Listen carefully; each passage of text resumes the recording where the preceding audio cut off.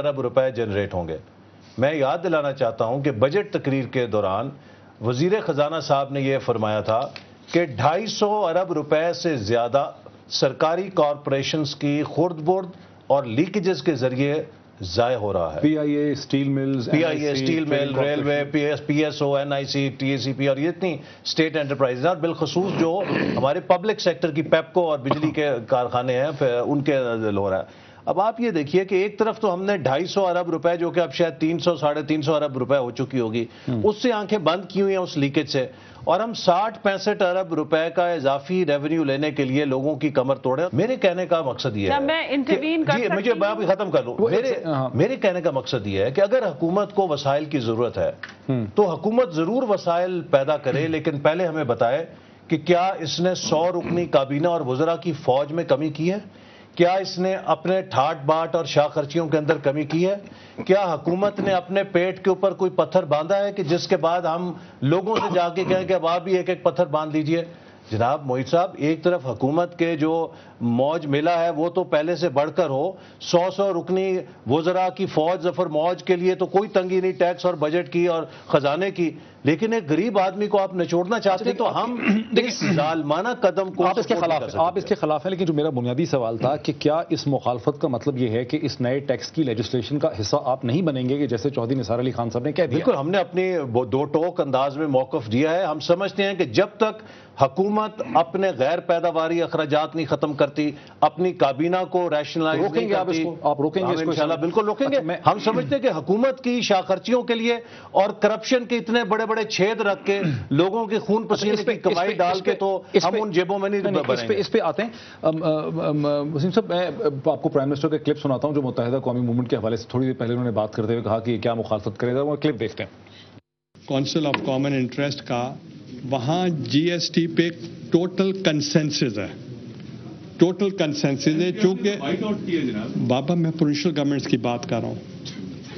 आपको आप M Q M ने क्या किया है? अच्छा कल बताएँ क्या किया नहीं नहीं कल मुझे बताएँ क्या किया क्योंकि जो आपकी रिपोर्टिंग है that is totally different from what was done in the house nothing अभी आप प्राइम मिनिस्टर का एक प्रेस ब्रीफिंग में क्लिप देखते थे थोड़ा सा वसीम साहब की तरफ़ चलता हूँ। उसने सब बुनियादी तौर पर प्राइम मिनिस्टर ये कह रहे हैं कि ड्रामों पर ना जाएँ हकीकत पे जाएँ कि काउंसिल ऑफ़ कॉमन इंटरेस्ट में देखें कमिटमेंट एक्सप्लेन भी नहीं किया प्राइम मिनिस्टर साहब ने। हो सकता है इशारा दे रहे हो वो अपनी जान में क्या किया है एमक्यूएम ने? मतलब मत जाए उस पर ये तो ये भी कह रहे थे पीएमएलएन वालों ने कल कहा कि देखें ऐसी चीज़ नहीं की ये ऐसी अलामती चीज़ें कर देते हैं बाइकआउट कर दिया ये कर दिया।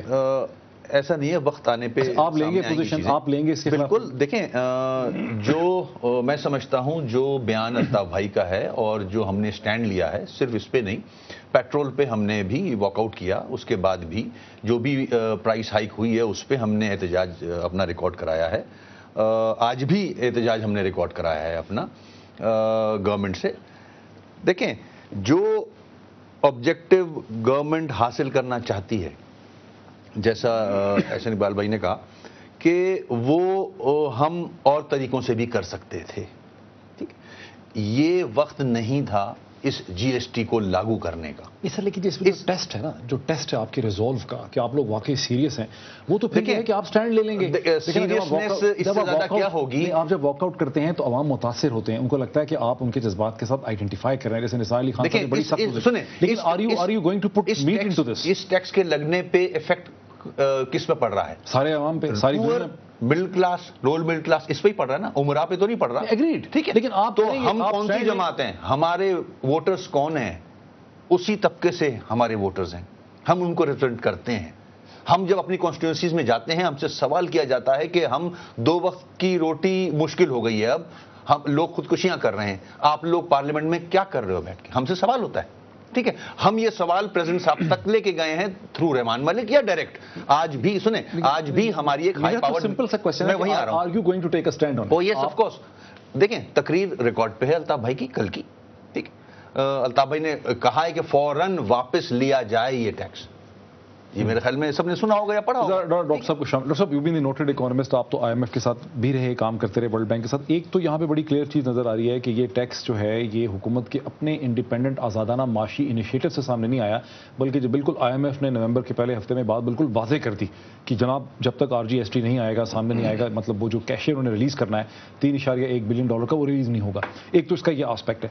दूसरा ये जो आस्पेक्ट है कि इस वक्त जो मुखालफत इसकी हो रही है आपको लगता है कि मुखालफत स्टैंड कर सकेगी? पहली बात आपने कहा कि ये इंडिपेंडेंट इनकी अपनी व्यू नहीं है। उसके बारे में ये कहूँगा कि आईएमएफ के ऊपर तमाम बोझ डालने का, उसका इल्ज़ाम या कुछ और, या उनको इस बात का फ़ायदा देने का ये ये गलत एक स्टैंड है। बात यह है कि जब तक आपका फ़िज़िकल डेफिसिट जो खसारा है आपका बजट के अंदर, जब तक वो कम नहीं होगा तो महँगाई कम नहीं होगी। हम जिन गरीबों की बात कर रहे हैं और तमाम पार्टियाँ शायद यही चाहती होंगी कि गरीबों पर बोझ कम हो।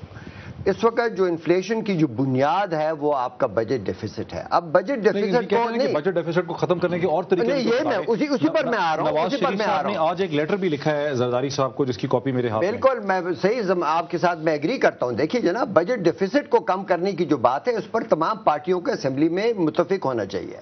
सीसीआई में इसी बात पर आप करें। फिर उस पर बात यह कि वो किस तरीके कार से करें। ये जो तीन टैक्सेस लगाने लगे हैं ये इनकी क्या ज़रूरत है कि नहीं? पहले चलते हैं रिफॉर्म जीएसटी के ऊपर रिफॉर्म जीएसटी के तीन बड़े एक अहम पहलू हैं। ये एक टैक्स नहीं है कि जो लग रहा है। अव्वल तो ये कि जीएसटी इस वक्त भी लागू है और फिर भी लागू होगा। उसको ये लोग रिफॉर्म करें, उसको वैल्यू एडेड टैक्स बना रहे हैं। ताकि जो लोग इस वक्त ये टैक्स नहीं देते, जो बिजनेसेस जो प्रोड्यूसर्स जो मतलब कि ये गरीबों की बात नहीं हो रही। उसका इफ़ेक्ट कंज्यूमर के ऊपर तो अभी भी है लेकिन जो बीच में दरमियान में जो नहीं दे रहे थे उनको ये टैक्स पकड़ लेगी।